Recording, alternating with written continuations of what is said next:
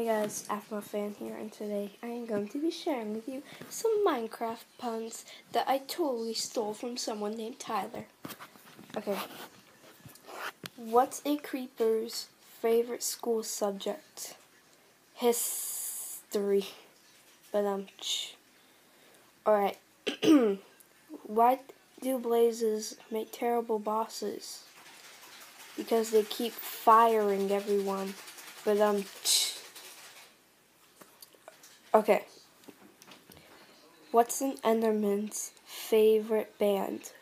Imagine Dragons. Uh, these Minecraft puns are top notch.